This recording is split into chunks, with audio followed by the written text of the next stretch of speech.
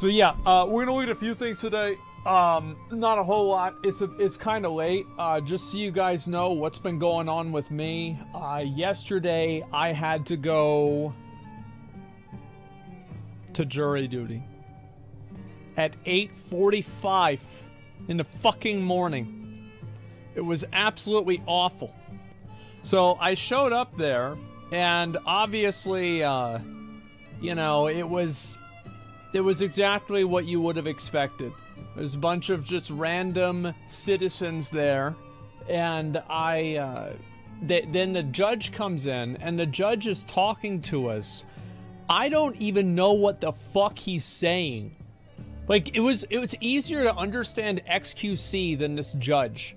He was just like I didn't know what the fuck he was. I I didn't even realize like until like halfway through like his second or third sentence that he was like talking to us.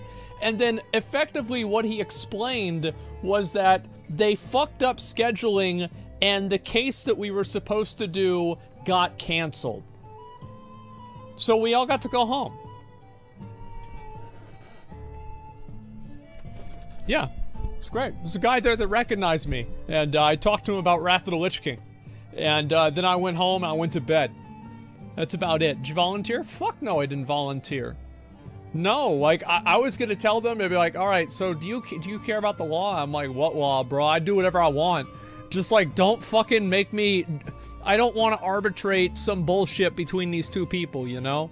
Yeah, imagine volunteering for jury duty. No, I mean, I think that the kinds of people that volunteer for jury duty are the ones that upvote and downvote every single comment they see on Reddit, okay? You don't want to be like that. Just act fucking crazy. I'm serious.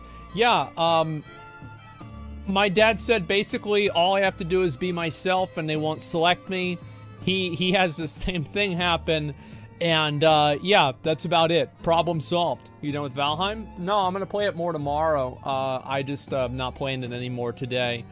Yeah, just be super racist. Yeah, there you go. Did you wear your sweatpants? Yeah, they said in the email they're like wear business casual. So I'm like, okay, guys, I guess I'll do that. So I wore um, shit. Uh, I wore the OTK pants, and it's like if they're gonna call me out on this, like this is my business. Yeah, it's casual. Like, yeah, this is business casual. It's my fucking business. Shut up. You know, and, and yes, I wore this exact same stuff. I showed up and I was by far the worst person dressed there, and I don't give a fuck.